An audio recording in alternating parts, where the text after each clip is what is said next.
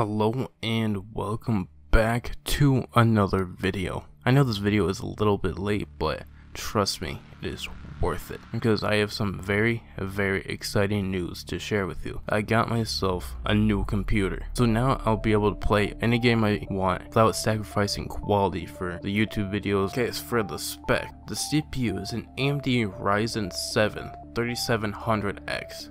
It has 8 cores and 16 threads, so it's going to handle gaming and video rendering extremely well. That's part of the reason why I went with AMD instead of Intel, because yes, Intel, its 10th gen, is much faster. I went with AMD because there's more threads, so the game could take as many cores and threads as it needs, and OBS all what it needs. For the CPU cooler is the NZXT Kraken Z something, Z60 something, I can't remember its exact name. There's gonna be a lot of NZXT parts because I went with their BLD service for the motherboard Asus ROG X570 Crosshair 8 Hero. The RAM is the Team Group T-Force. What it is is 16 gigabytes, so two sticks of 8 gigs, 3200 megahertz. So, I mean, it's a pretty good upgrade from what I had, which was 4 gigabytes, one stick, when that was 1333 megahertz. The graphics card I will come back to later. The front fans are the NZXT Aer fans spelled A-E-R. I don't know why it has an E. There's two RGB strips, with one on the bottom, one on the top that you can't really see that well. I'm not sure what the exact name of the exhaust fans. I'm assuming they're from NZXT.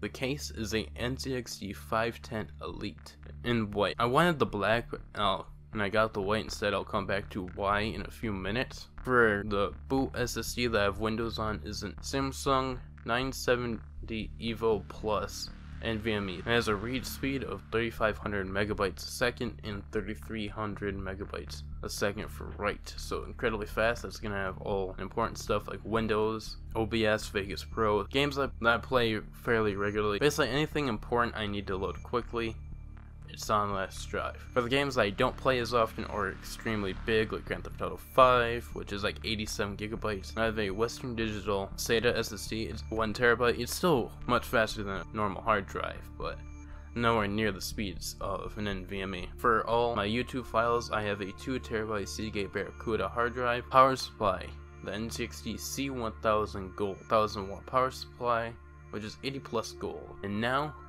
for the most impressive thing of all.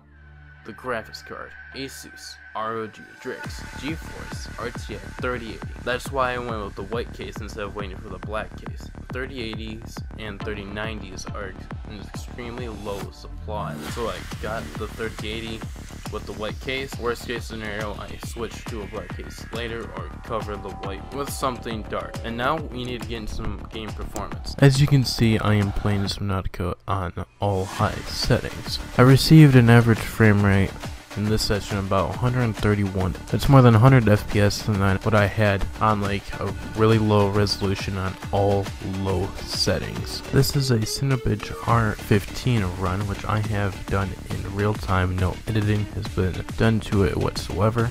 And so, as you can see, my score, I believe, is an 18 something. I can't remember exactly what it is. Obviously, much better than my old one.